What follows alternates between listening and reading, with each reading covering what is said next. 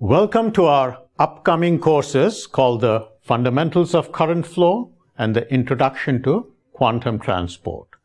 Now, these courses have been developed over many years. Indeed, the first time we offered it was in 2012 and then on edX in 2015.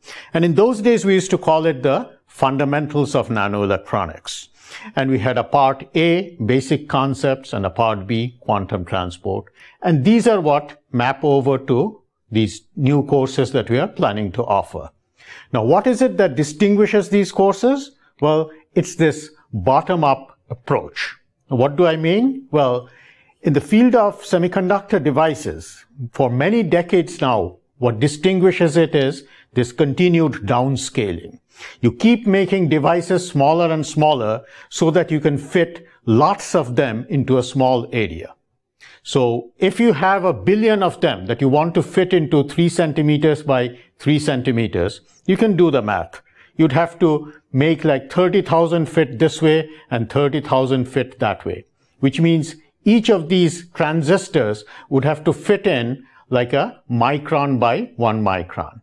And of course, the active region itself is even smaller. See? So that's where commercial devices are today. But when we think about current flow, for historical reasons, we always start from big devices and then try to project that understanding down to small things. And what we felt is that that makes the subject unnecessarily complicated. Instead, we develop this bottom-up approach where we start from small things and then use it to understand big devices.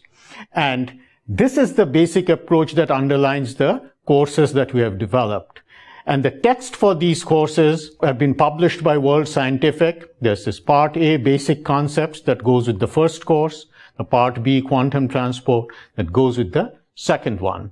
And what's different between the two? Well, in the first course, we try to understand the basic concepts, thinking of electrons as particles. And it turns out that you can understand a lot of these basics quite well that way. Whereas there are some special things which actually require you to consider the wave nature of electrons, and that's what we do in the second course. Thank you, and I'll look forward to seeing you.